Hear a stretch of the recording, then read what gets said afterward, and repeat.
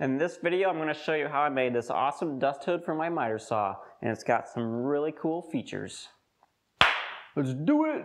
The first thing to do before we can start building the dust cabinet is to determine how big it needs to be. You can see here that I've mocked up with some cardboard strips about how big I want the footprint to be and about how big I want the dust hood portion of it to be. Now I already went ahead and made my measurements and so I know what I need for the plans. If you're interested in seeing specifically how I measure the saw to determine the measurements and how big I wanted to make it, I'll have a separate video on my website that shows just that process. But for now, let's get started on building it.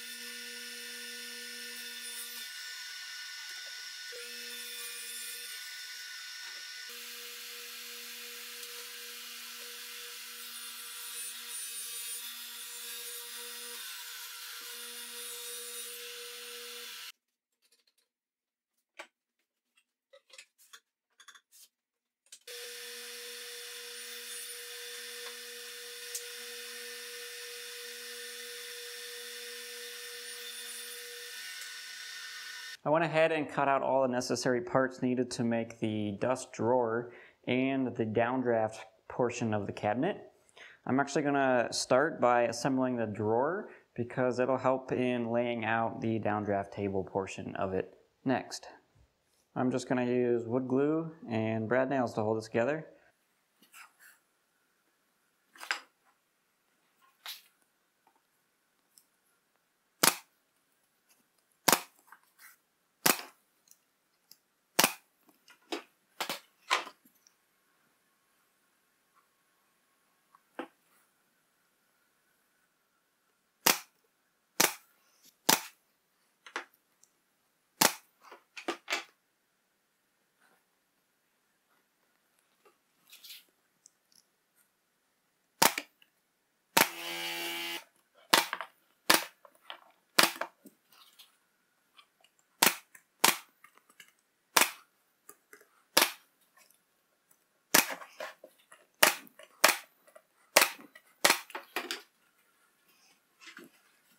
With the drawer done, I can now start working on the downdraft box.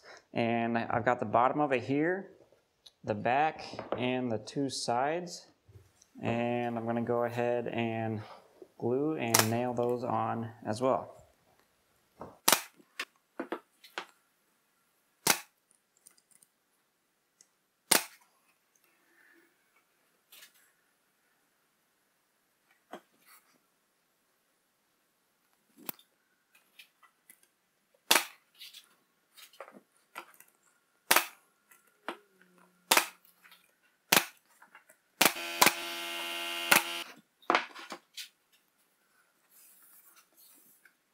I'm going to go ahead and take the drawer, make sure that fits. And with the drawer in place, I can take this separator piece, which is going to separate the downdraft portion back here from the dust box. And I'm going to give a little bit of clearance in there just in case some dust gets in there to Make sure the drawer can always close and then glue and nail that in place.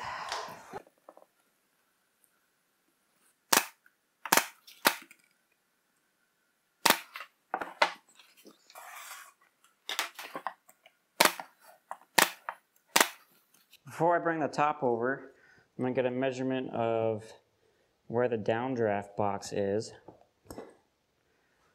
And that way I can mark it on, on the top.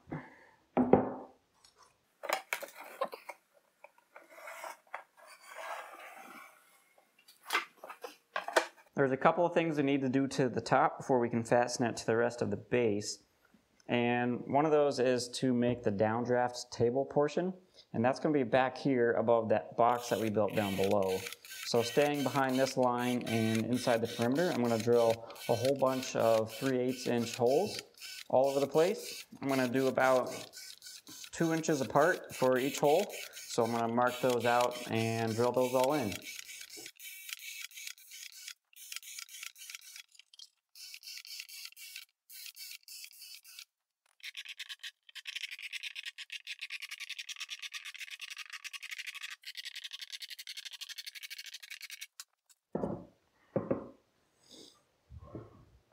The next thing I need to do to the top is cut out a hole for the dust from the blade to fall down into our dust drawer.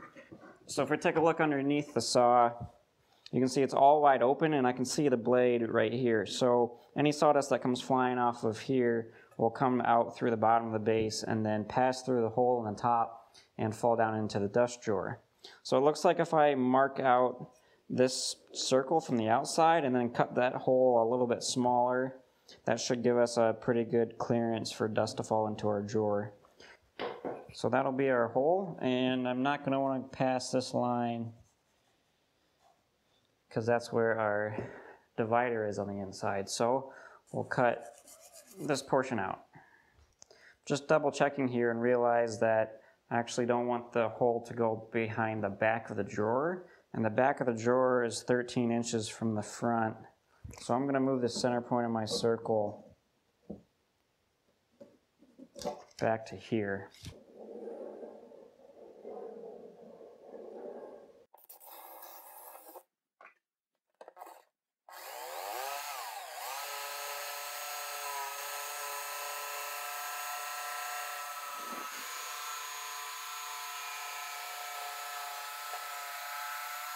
So for some reason on my saw, there's this opening in the front, and I don't really know what it's for, but it is open to my dust drawer, you can see. So in order to close that off and get more of the dust in the drawer instead of out the front, I'm gonna reuse this piece that I made on my previous dust hood. And it just slides in here, and I'll screw it down to the top, and it pushes up against the insides of the castings and that helps to close off that cavity and prevent dust from coming out the front. With that hole cut out, I can go ahead and get this attached.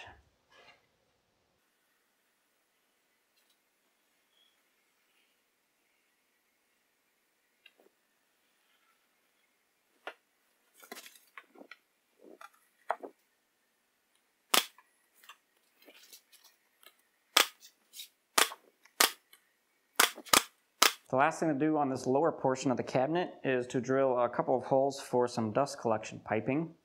I'm going to have a 2 inch pipe come up through here and that's going to connect to the back of the miter saw with some of this shop vac hose. And then also underneath on the bottom I'm going to have another port for uh, providing the vacuum to the downdraft portion. Here's a trick I like to do to keep these hole saws from plugging up when making a cut like this is go ahead and start the cut just so you can get an outline. And then I'm going to bore a hole with a small drill bit on the inside of the circle.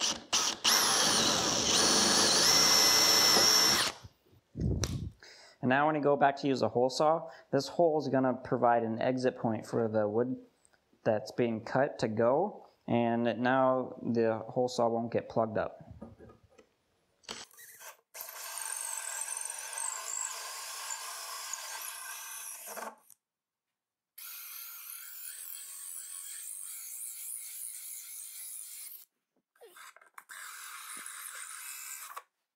Now that the base is done, we can go ahead and move on to the hood portion, and that's pretty simple. Just gotta glue the side panels to the back panel and then put on the top.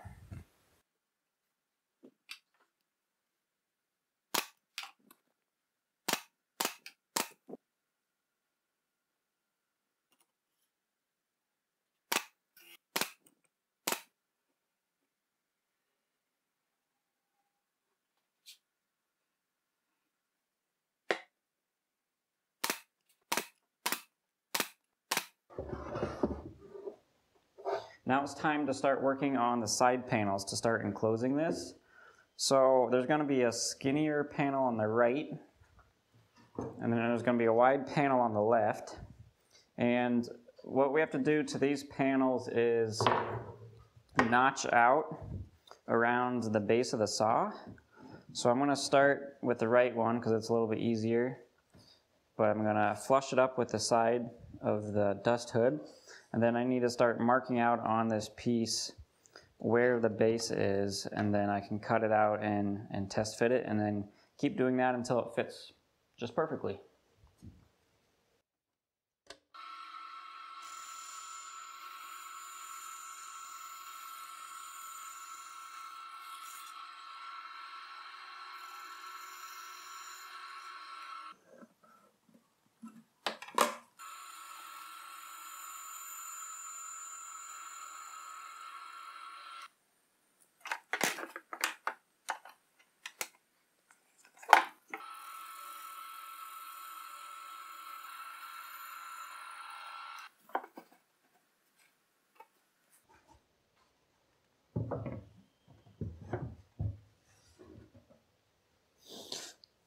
Like a glove.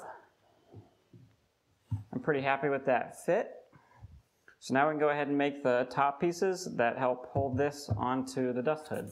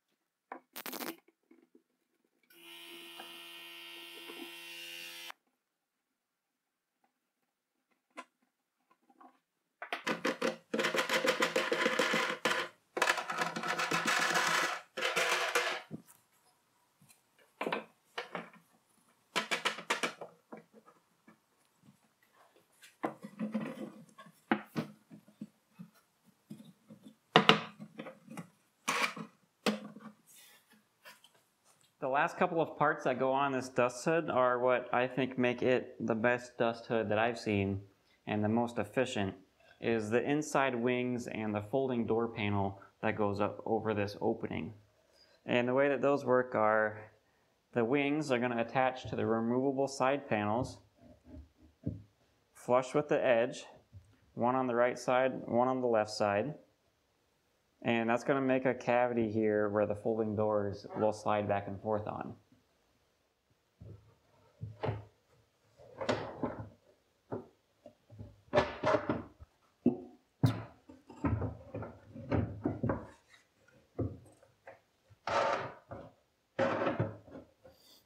The last components to make are these folding doors that go over the saw. And I'm just going to go ahead and assemble them together here before putting them on the dust hood. And these two panels pivot together with a piano hinge in the center. And then there's another piano hinge that goes on the top, which attaches it to the top of the dust hood.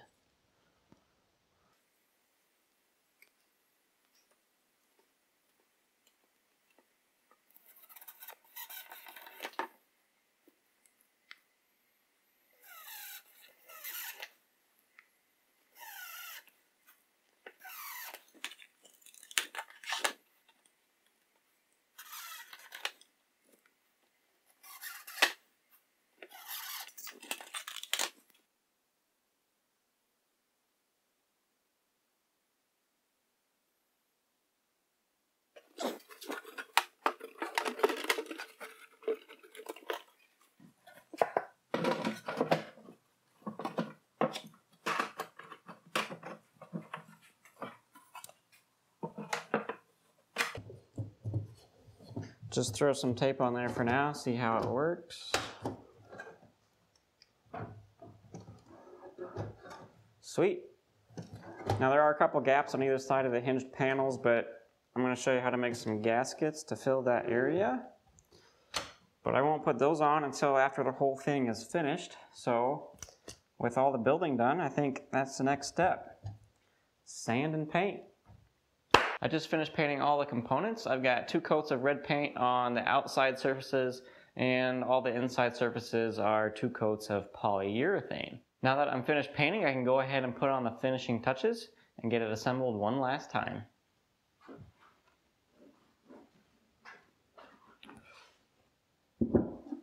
For the dust collection piping, I'm going to be using this 2-inch black ABS piping, and I already went ahead and cut the right pieces to fit in here.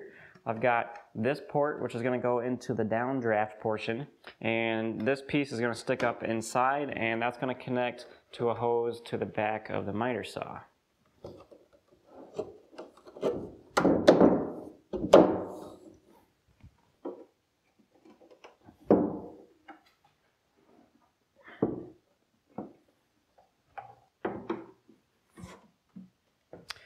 To connect this hose to the back of my miter saw, in the past I've just used PVC pipe couplings and shop vac couplings. But this time I decided to 3D print my own adapter. And because I wanted the saw to be relatively close to the back of the dust hood, I needed to have a right angle here. And so I 3D printed this adapter, which this end snaps onto the hose, and then this end also snaps onto the back of the dust port of the saw.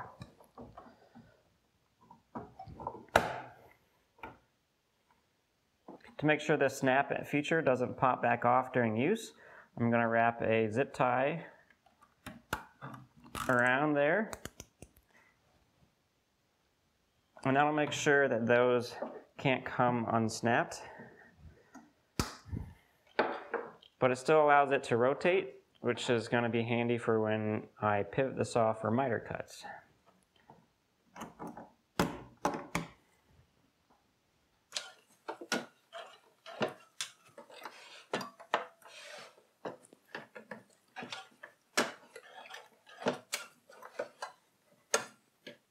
In goes the drawer, and I just put a basic drawer pull up the front.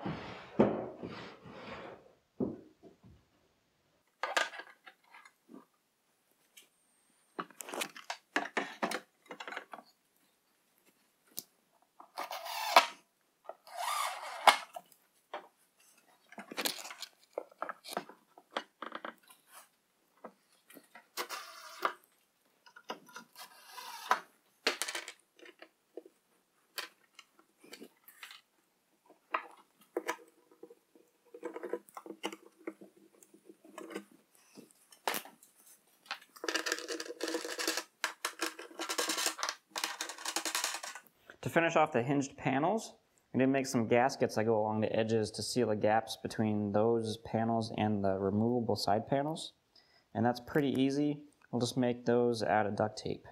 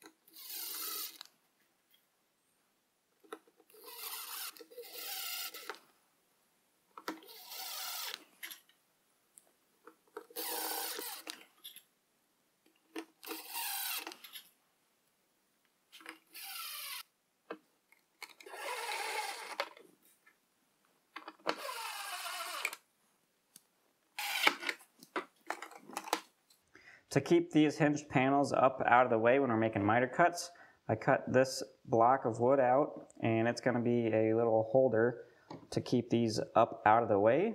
And I'm just going to screw it from the top and make sure that it can still pivot. I have to make sure to install it on the inside of that inside wing that goes here and I made a mark where that is. So as long as I install it on the right side of that, it will be out of the way and good to go.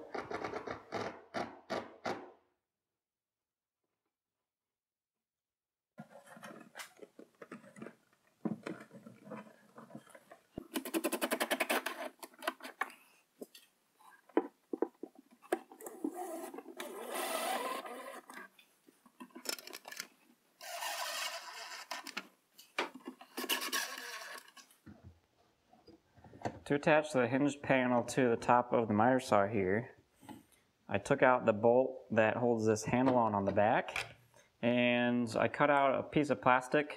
It's like a piece of plastic from an ice cream bucket and I looped that through a binder clip and that's going to give me a way to attach this to the saw and be able to disconnect it pretty easily.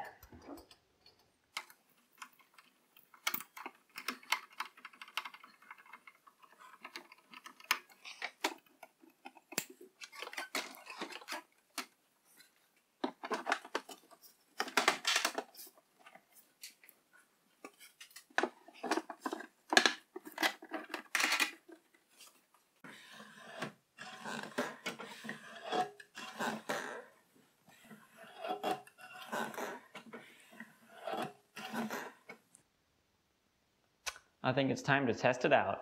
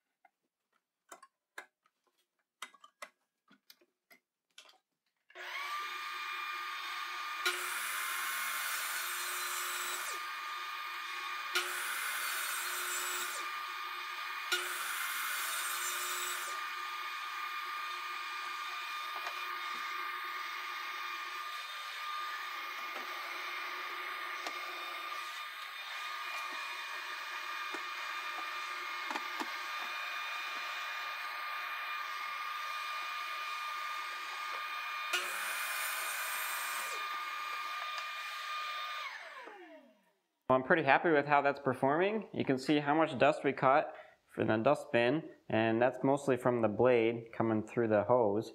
And it's obviously not 100% efficient. There's some little pieces out front, most of which bounce off the saw as the wood's being cut and kind of fling towards the front.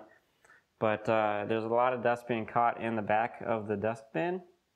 And I'm sure with a much bigger dust collector, we would catch a lot more of those pieces down the downdraft as well. And in the drawer, just from those few cuts that I made, uh, we're starting to get a pile in the drawer. If you're interested in building one of these dust hoods for your miter saw, I've got a very detailed set of plans available on my website. The plans come with a built-in calculator, so all you have to do is measure your saw and input those dimensions into the calculator and it will automatically adjust the drawings to fit the size of your saw. That's it for this one. See you in the next project, which I think is pretty obvious. Miter saw station.